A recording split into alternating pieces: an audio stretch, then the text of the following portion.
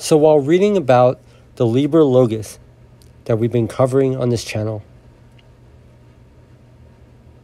I've been reading specifically about what the angels told Dr. Dee and Thomas, um, how the Liber Loagaeth will be revealed in the end times as even a threshing instrument to thresh the body of Christ, to thresh believers and non believers, to show the power and authority of God and the inferiority of the devil, etc.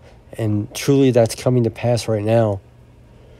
But and as I was reading this content, um, I stumbled upon one particular passage, and a light bulb went off in my head.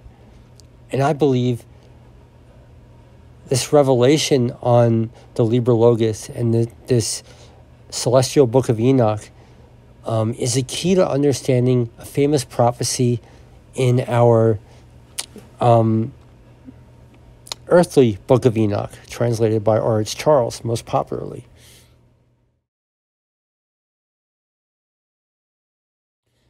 For those who have ears to hear and eyes to see, please let them hear and see.